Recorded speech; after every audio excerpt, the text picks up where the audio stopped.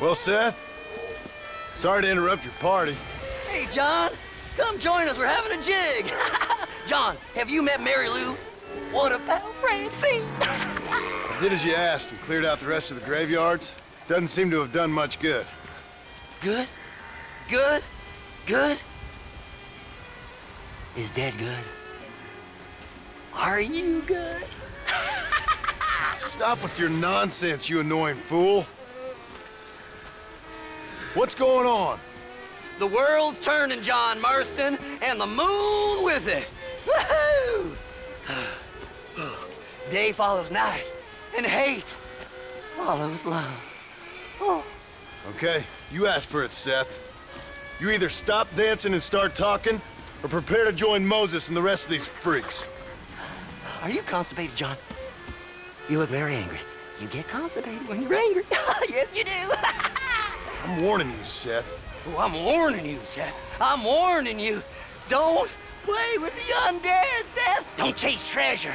Don't waste your time searching for treasure and discover only a glass eye. glass eye. Well, warn all you want, cowboy.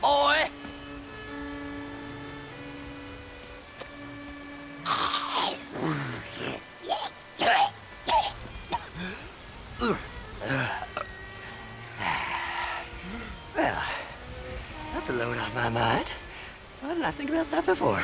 Because you weren't dancing. Hey, John. Well, how are you? Would you like a drink? We got blood mucus surprise. Come on. Seth! What is going on? Aztecs. Or, or Incas.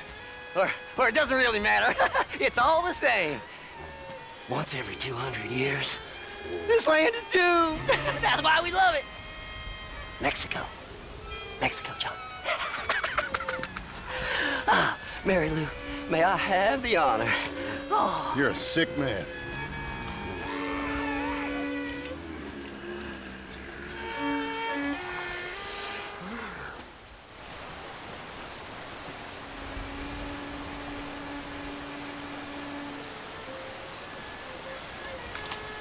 I just ate that glass eye. I see you looking at me. See?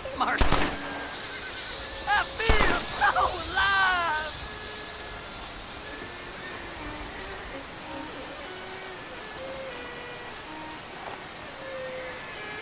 This is how you do. You're really starting to cramp my style, partner.